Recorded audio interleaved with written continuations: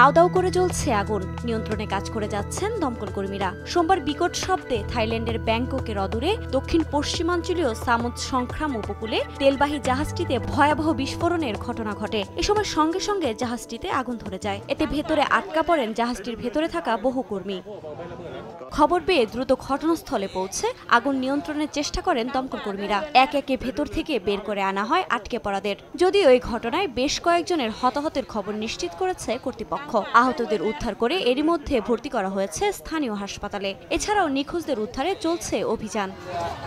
প্রত্যক্ষদর্শীরা জানায়, বিস্ফোরণের বিকট শব্দে আশপাশের এলাকা কেঁপে ওঠে। এ ঘটনায় ক্ষয়ক্ষতির বিষয়ে নির্দিষ্ট করে কিছু জানা না গেলেও এর পরিমাণ ব্যাপক বলে আশঙ্কা করা হচ্ছে। দুর্ঘটনার কারণ জানতে গঠন করা হয়েছে তদন্ত কমিটি। প্রাথমিকভাবে যান্ত্রিক ত্রুটির কারণেই ভয়াবহ বিস্ফোরণ ঘটে থাকতে পারে বলে আশঙ্কা করা হচ্ছে।